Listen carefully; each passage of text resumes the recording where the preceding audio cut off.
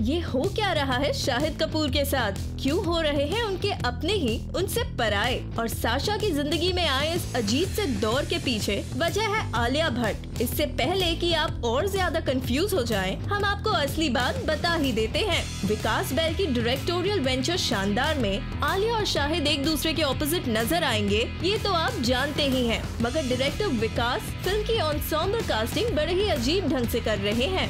सुनने में आया है कि शानदार में पंकज कपूर बनेंगे आलिया के पापा। यानी वो अपने रियल लाइफ बेटे शाहिद के real life father in law बनेंगे। वहीं आलिया की बहन का किरदार निभाएँगी सना खान, जो रियल लाइफ में शाहिद की सिस्टर हैं। अब ये बड़ी अटपटी सिचुएशन है। हम तो अभी से ये सोच रहे हैं कि शूटिंग के वक्त शाहिद को न जाने क्या तकलीफ़ झेलनी पड़ सकती है। खैर, जैसा भी हो, मगर विकास की कास्टिंग दिलचस्प ज़रूर लगती है। आपका क्या कहना है? हमें कमेंट्स के ज़रिए बताएँ। And for more filmy dose keep watching Bollywood Now.